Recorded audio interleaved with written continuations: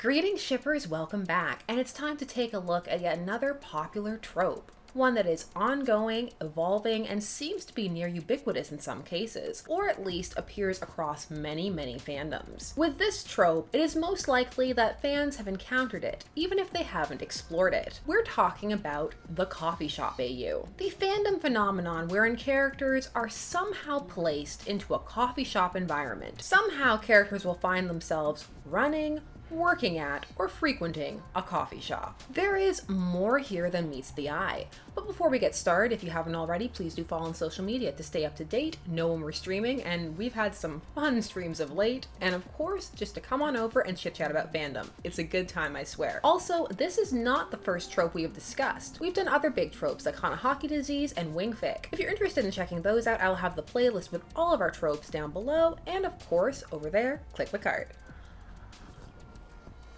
Now, whether you love coffee or not, let's take a look at the coffee shop AU, or tea shop.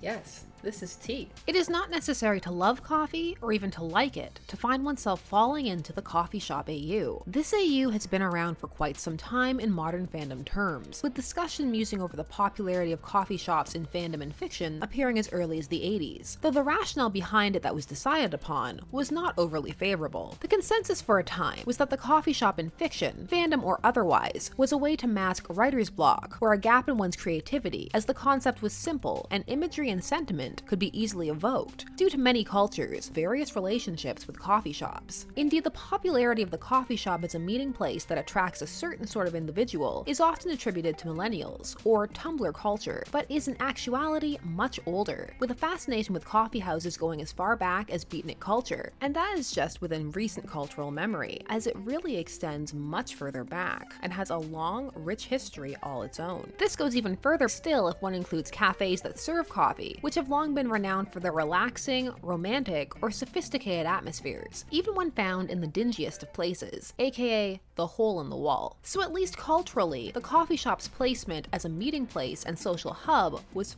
firmly entrenched, but it took a while for the coffee shop AU as a genre to take firm root in fandom and grow to what it is today. The spread of the coffee shop AU into common fandom usage can be traced back to 2001 and an RPF fic in the NSYNC fandom called Café de l'Amour by NSYNC Girl, which even included an author's note on her website after the fic and trope soared into popularity, which read, It started a trend, don't you think? Though most likely not the first coffee shop AU, it was the first one of such widespread popularity. And one that served to set the tone and format. If one wishes to peruse this fic or its contents, it has alas been purged from the net by the author herself, as it was hosted along with all her other boy band fiction on an Angelfire site, going by the name Forever. The reason for the deletion lies in the author having reworked and turned many of her fics into original novels. During this time, she directly stated that readers would not be allowed to repost her work, as to do so would put them in violation of her copyright, though she has left some of her fics online in PDF form on her site When There's No More Forever. So the original fic no longer exists. However, the reworking of the story, also going by the same name, is up on the author's website, JM Snyder Press, where the author houses her published works under the tagline Musings of a Small Press Publisher and Author of Gay Smut. So if one wishes, they can check out that story. However, how similar or dissimilar it is from the original fic is something known to those who had the pleasure of reading the original. Regardless of the seeming originator of the trope's popularity during the digital fandom renaissance not being present, the effects are easy to trace. Like many fandom concepts, fans of the trope took it with them as they traveled through fandoms. For many, some would argue most, fans are involved in more than one fandom. So the concept moved quickly from RPF and fandom into more traditional and accepted fandoms, and as it did so, particularities about it began to arise, such as which characters would find themselves in a coffee shop, which would often transcend the genre of the fandom. Fans would tend to place characters with either a voracious and well-known love of coffee into this new setting, or a character who was perpetually stressed and could perhaps benefit from the relaxing and friendly environment invoked by the coffee shops in these fics. In one fandom, these two requirements came together in a perfect storm. That was the character of Rodney McKay in Stargate Atlantis. This coffee guzzling, perpetually nervous scientist became a lightning rod for this AU, and as a result, so too did the Stargate fandom.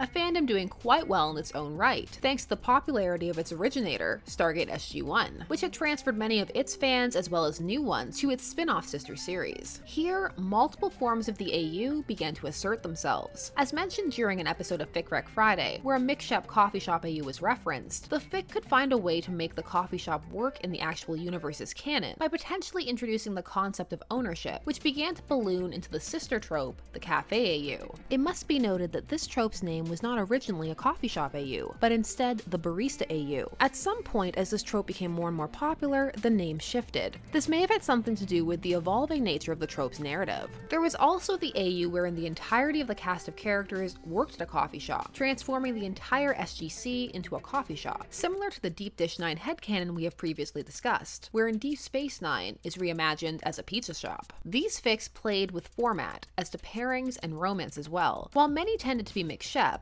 as that was and still is Atlantis' dominant pairing, what was more in flux was whether both were employees of the coffee shop, employee and owner, or employee or owner and customer. Some consider two customers falling in love at the coffee shop to be a subset of this genre. While all working around the same theme, variants began to emerge as fans came to realize that the coffee shop could straddle the line of familiarity and creativity, as one could tweak the trope while still presenting the fluff the AU was becoming well known for. That is not to say the evolution of the coffee shop AU was drama free. Indeed, one fandom incident has managed to be remembered and documented, despite how many early fandom skirmishes and wars were lost to time, due to a shift in archiving and also a different attitude about fandom in general. Indeed, outside of ship wars and flame wars, incidents surrounding individual works were often referred to as fandom wank. Rather than the masturbatory use of the term wank, in this case it meant generally distasteful fandom behavior that occurs loudly and in a forum where many can see it. These instances were very much looked down upon, as the general view was that they reflected poorly on fandom and fans, rather than them simply being a natural course of action of the landscape, which tends to be the mindset at the time of this recording.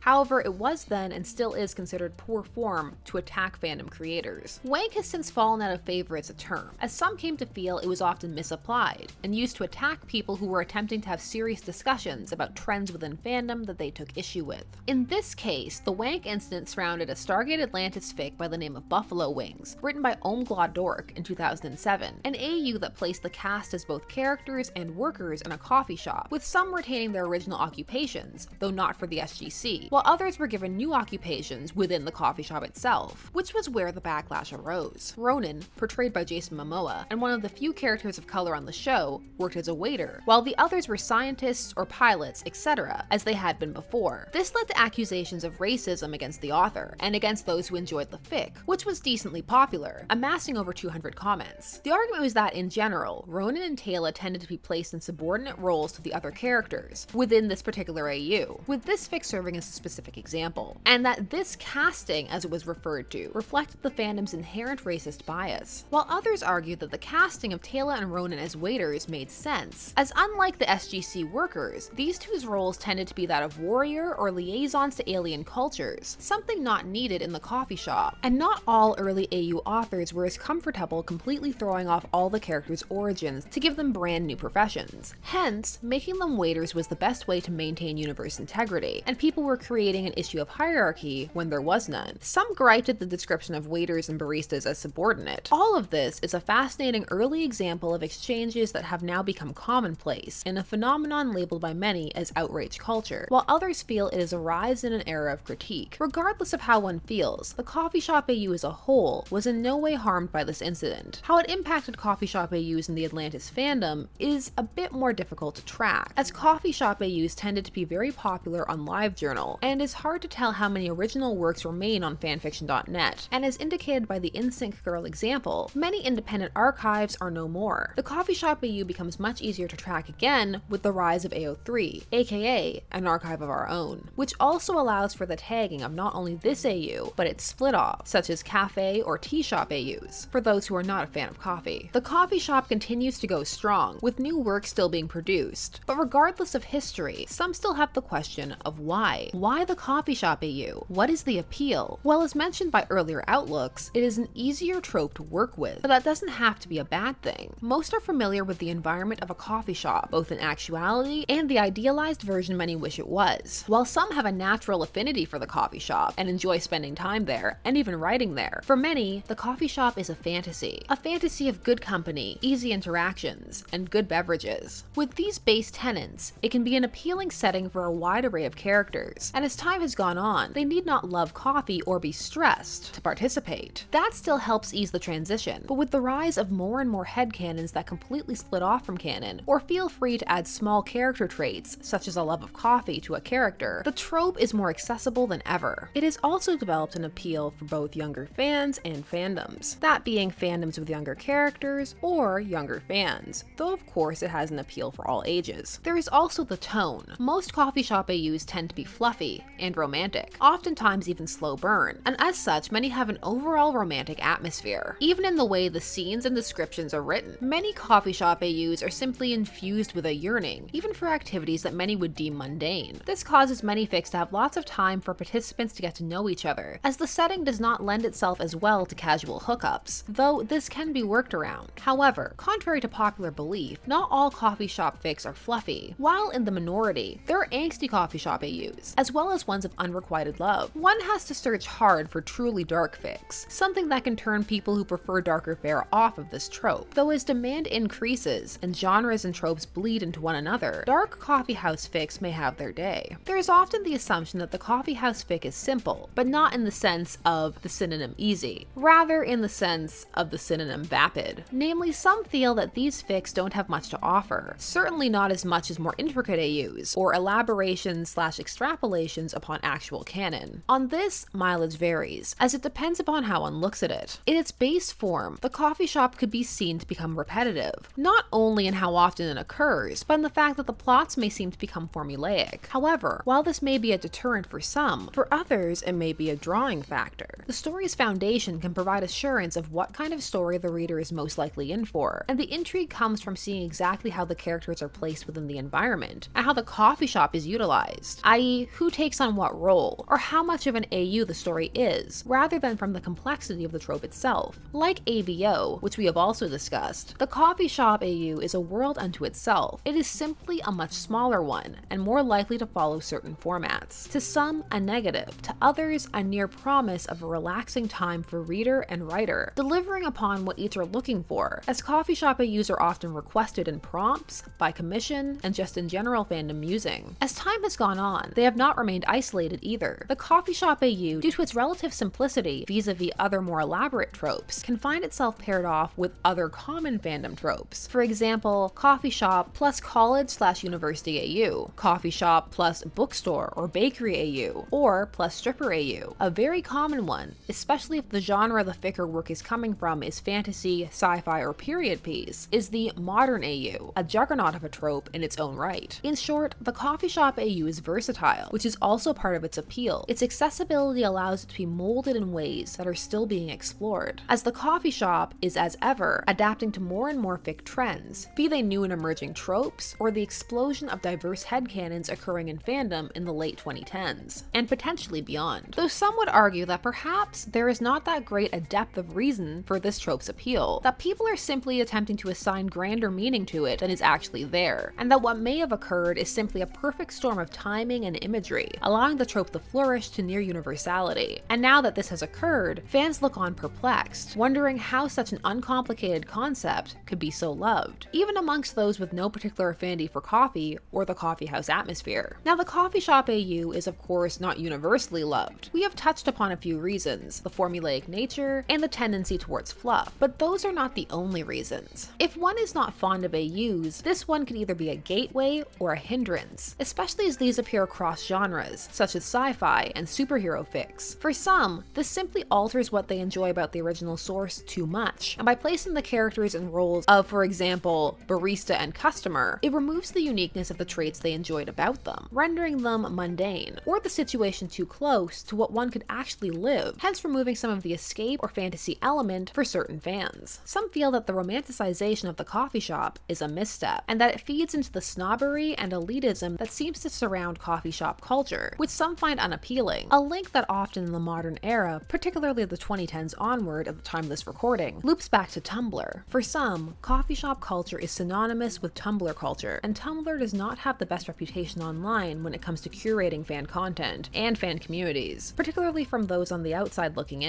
On the inside, mileage varies. The built-in realism or near realism of the coffee shop AU causes some fans to ponder more social questions, as evidenced by the 2007 incident surrounding buffalo wings. These can occur surrounding specific fics, as they did then, and still do now, or it can be about the workplace dynamics, aka power dynamics, some feel are innately at play when it comes to questions of employee-customer relationships, but particularly owner-employee, or employee-to-employee, while some feel that these can be worked through, or are not that serious, or even do not need to be considered due to the fantasy element present in a majority of fanfics, even ones as reminiscent of real-world potentialities as the coffee shop AU. Some simply feel it is silly, and feel that there is nothing interesting or romantic about standing in a long line to get in many cases an overpriced drink in a coffee shop one probably won't be able to sit in because there are people on laptops that have been there for hours, and will be for several more. Baristas also have unique takes on these fics, some loving them, others not so much. Like with all tropes, it is not for everyone. The coffee shop AU is more intriguing than its name would suggest, and capable of more than many assume. It is also not likely to vanish anytime soon. The ease with which it can travel from fandom to fandom, and the way it can draw in any character, should a creator so choose, make its status as a relevant trope a lasting one. While it may wax and wane in popularity, like time travel or mpreg or wingfic, just to name a few, it will be represented. Most fans entering any fandom will encounter this trope, and if one lingers in fandom long enough, they will probably check one out. How they will come to feel about it is another matter. Are you a fan of coffee shop AUs? If you've ever worked at a coffee shop, has that altered how you feel about this AU?